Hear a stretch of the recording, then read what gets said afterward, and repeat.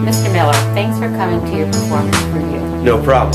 So you're in charge around here, is that fair to say? Absolutely. I'm the boss. Okay, so take us through a day in the life of the boss. Well, the first thing I do is Ride Metro. Wait for Larkin. Make a feature. Miss the bell. Forgot my papers. Late for class. Get a note. No late work. Go to psych. Toss a brain. Brother John. Eat a cracker. Print homework. Printer's broke. Try the library. No computers. Go to bio. Father's mad. There's a test. Forgot to study. Playing Skyrim. Take the test. Oh, come on, man. What is this stuff? I don't even know, man. Fail the test. Go to stats. Sleep in class. Straight by Buckler.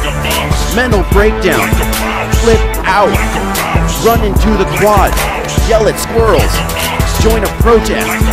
Pepper spray. Eat some fritters. Do a pull up. Go to English. Hamlet sword fight. Real poison. Now I'm dead. Uh-huh, so that's an average day for you then.